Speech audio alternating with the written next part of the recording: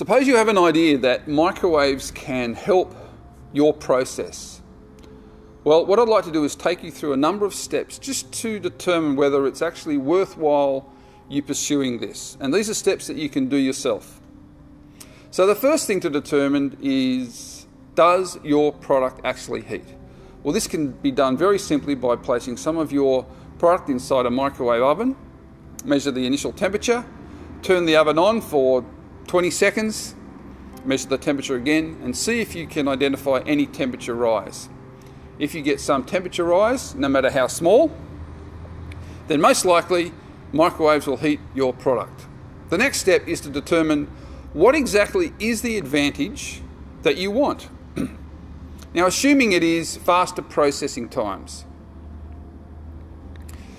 what you need to do is take some of your product, put it back in the microwave oven, and continually be switching the oven off and on for, say, a period of 20 seconds, and look for your process being completed in a faster time period.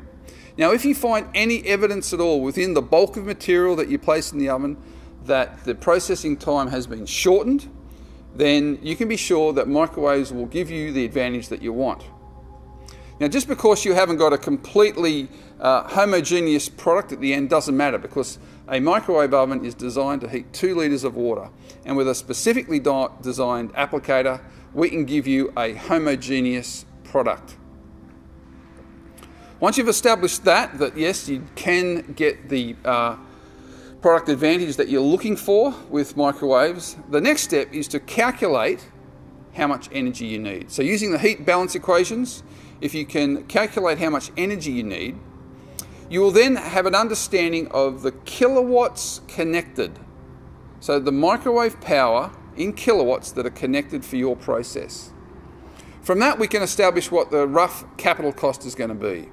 And just as a rough guide, 2,000 to 4,000 US dollars per kilowatt will be what it'll cost to implement your process full scale and that cost will depend largely upon the materials handling requirements.